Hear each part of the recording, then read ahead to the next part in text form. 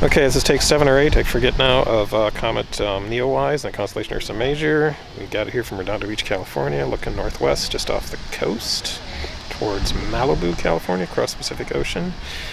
Uh, we've got it in with Gen 3 unfilmed night vision in real time looking through a 162mm f1.7 lens, night vision lens, and an LP690 645 nanometer long pass filter. Camera's Sony Alpha 7 Mark III. Settings are 140th of a second shutter. ISO is 250.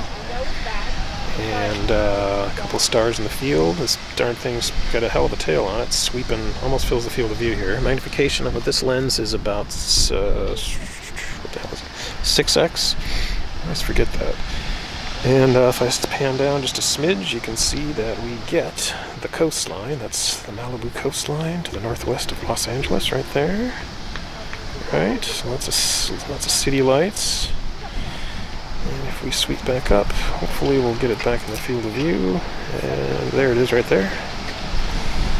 Comet Neowise, real time. Looks fantastic. Gen 3 unfilmed night vision, just incredibly nice. I may try tomorrow night to go to a dark site and give this another whirl because I'm got some a lot of cars zipping in here with lights and there's a certain amount of uh, sky glow I imagine. But that is the comet. And uh, let's see distance is 108 million kilometers I think from Earth. I think it's moving away from the sun now I'm not sure.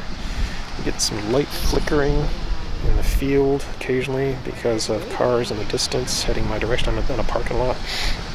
And there's a big honking road, Pacific, no, not Pacific, it's uh, Catalina Esplanade, Esplanade Avenue, or whatever, off the, to my, uh, to the right of the field of view. So anyway, let's call it a wrap on that one, and uh, that's it there.